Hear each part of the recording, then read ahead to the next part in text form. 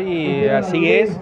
Eh, ya minuto de, de arrancar con esto, que ya tenemos más de 400 jinetes, más de 400 peregrinos. Bueno, un acto multitudinario en devoción al, cura brochero y bueno, eh, en esta oportunidad partiendo de Villa Carlos Paz.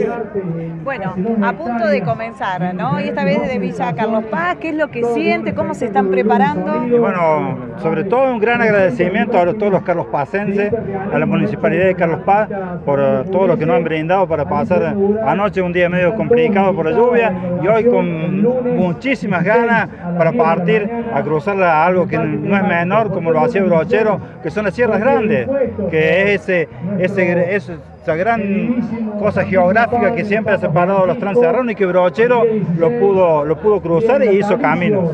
¿Han pasado la noche aquí? Pasamos la noche acá, sí, sí, sí.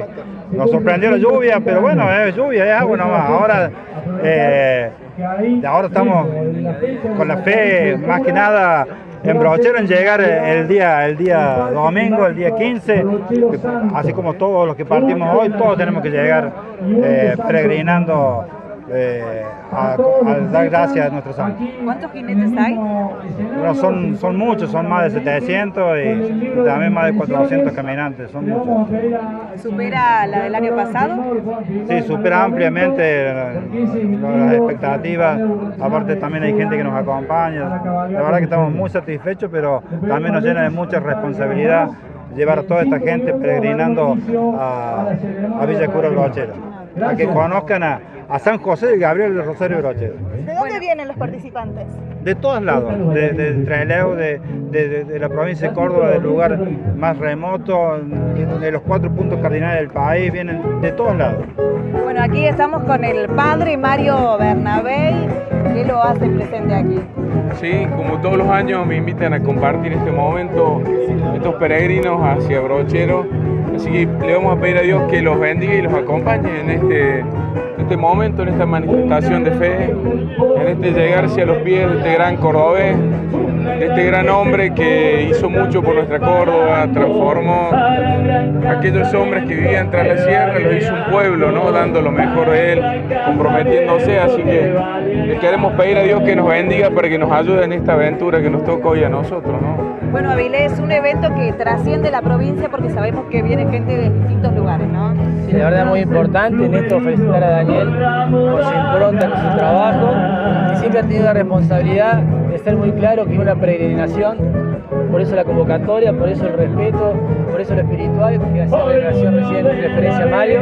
Y para nosotros la provincia, para Villa Carlos Paz, el hecho de, de tener una actividad con más de mil almas hoy que reivindican el trabajo de lo que fue de brochero, de lo espiritual y también en todo el marco de gestión. Cada uno va conociendo a veces diferentes recorridos que ha tenido en las montañas y siempre con una, mirada responsable en lo social y también en obra pública de gestión, porque ha sido mucha la obra que uno va descubriendo y que realmente lo lleva a un nivel que cada lo, dimensiona lo que fue su acción. Así que bueno, para nosotros estar acá, el primer día, en la primera actividad, y como decían recién, también tenemos el lunes algo que, no es menor, que es la inauguración del parque temático, que el gobernador invirtió más de 80 millones de pesos, y como siempre planteamos, ¿no? esto representa lo que es importante la obra de Cura Brochero, como dijo Mario, no solamente hoy el pueblo lleva su nombre, sino que también impronta de mirar con responsabilidad en un momento social eh, en que la raza humana tiene situaciones muy claras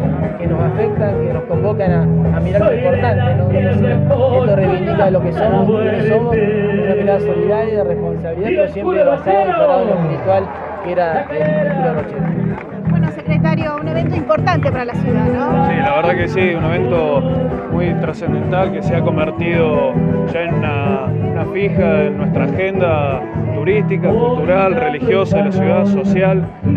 bueno, lo explicaba Esteban, la importancia que tiene. Para nosotros es realmente muy importante que el inicio de las actividades se den en, en nuestra ciudad, poder como ciudad también tener la responsabilidad de cobijar a más de 600 cabalgantes, 400 peregrinos que nos visitan, que dan por inicio la actividad acá con todo lo que significa, con este trabajo articulado entre la Agencia Córdoba Turismo, entre la Secretaría de Turismo y el Gobierno de la ciudad, también genera este tipo de actividades nos coloca también a Carlos Paz en otro, en otro plano, con, agendas nuevas, con actividades nuevas. Y obviamente para nosotros también una responsabilidad poder brindar la seguridad a tantos, a tantos participantes, a las familias que vienen a visitar, también que los acompañan en el inicio de las actividades. Así que bueno, una, realmente una fiesta y una enorme manifestación, manifestación de fe que como Carlos Pacense realmente es, es un orgullo poder acompañar.